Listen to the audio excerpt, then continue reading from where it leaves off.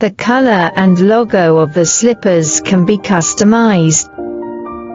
This is a display of our printed samples. Our printed color is very bright and firm. Please check the detailed pictures.